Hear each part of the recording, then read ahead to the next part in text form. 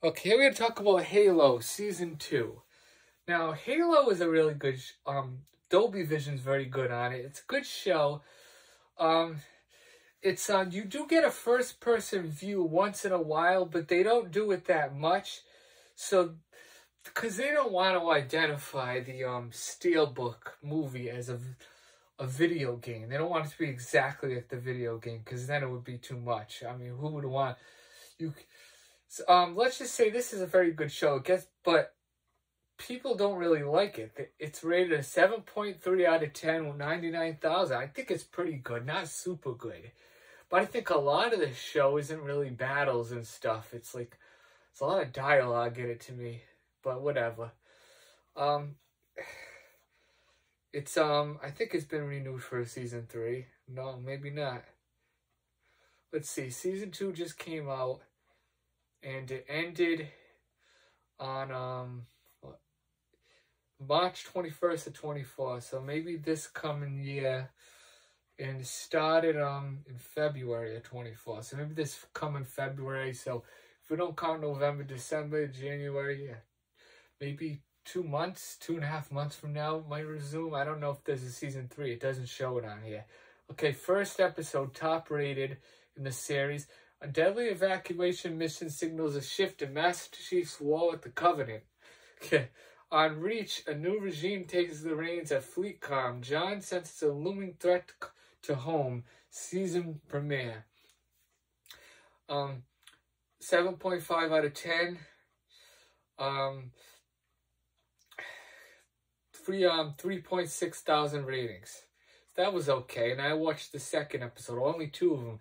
Because you gotta remember, with, with, these kind of shows that come from movie studios, I forgot what studio this was from. Showtime. I already scratched some of the steel book. I don't even care anymore. okay, um, so it's um Showtime. One episode is this is what I hate about these kind of shows. Is that one episode's an hour, then the next episode is like forty five minutes. Like, can't they be consistent and make everyone exactly an hour so you get as much time out of it? And I remember one time on the a Mandalorian that's separate from this, they had like a, a episode that was under 40 minutes. I'm like, you can't have a episode under 40 minutes and you pay like $50 for a steelbook. That's ridiculous. Well, I didn't pay $50 for this one because I got it slightly cheaper on um Target. Believe it or not, they were cheaper at the time than um Amazon. All right, that's it. Bye bye.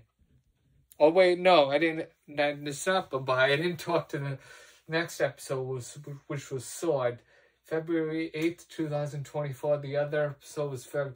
Yeah, they they since they released they released these two episodes on the same date.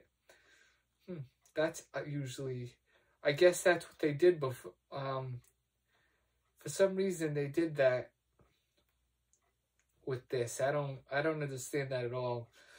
John pushes Silver Team to its limits as he searches for missing spawns. Kai worries about John's stability. Kwan finds the rubble is a far more dangerous place in Soren's absence. Halsey seeks the identity of her captor. 7.1 out of 10, 3.2. So for a show like this, its top rated episode um, is a 7.5. So this show is about average. It's it's not super good. I thought it would, have got a better rating. I I didn't remember what the rating was, so I looked it up again. I thought I had a better rating than this, but I guess it's only about a seven and a half.